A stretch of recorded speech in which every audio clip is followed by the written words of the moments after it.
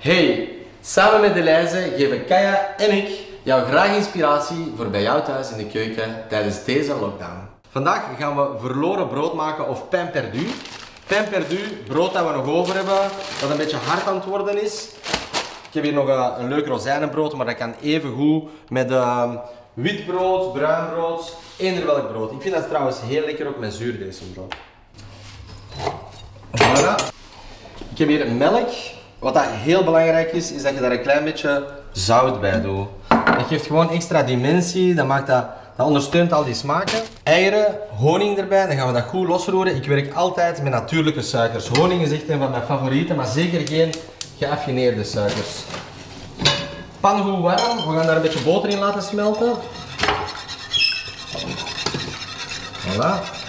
Heel belangrijk is dat je eerst het uh, brood door de melk haalt met het zout. Dan in de eidooiers. Zo.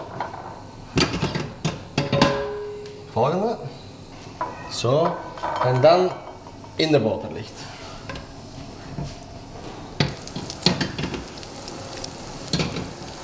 Bij die pain perdu komen peren en ik ga die grillen in het vuur. Ik wil echt zo die barbecue smaak. Voilà.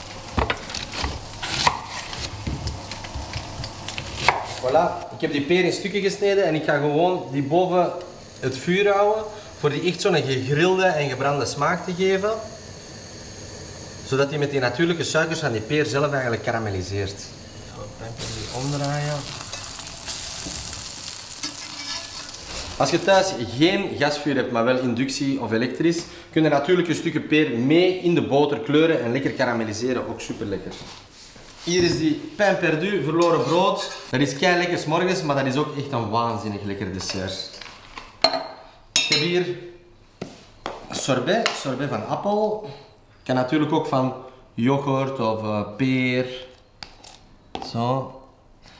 Die sorbet die gaat heel voorzichtig wegsmelten over dat warm brood en dat is echt het lekkerste moment. Hier komt meringue op, die dat we gaan kapot doen. Ik heb hier nog een uh, ik heb hier nog een stuk peer over. Dat ga ik even fijn snijden. Voilà. Komt er ook nog van bovenop. En dan als laatste de zeste van citroen en een paar druppeltjes honing. Dus meringue, die gesneden peer, klein beetje haver komt erbij. En granola als afwerking. Twee vorken, belangrijkste moment. Zo. Voilà. Pain perdu. Met sorbet van appel, gegrilde peer. Mm. Ja. Mm. Die granola maakt het zo die, die geeft een lekkere crunch daaraan, maakt dat lekker krokant en dan dat zoete van die meringue, mega lekker.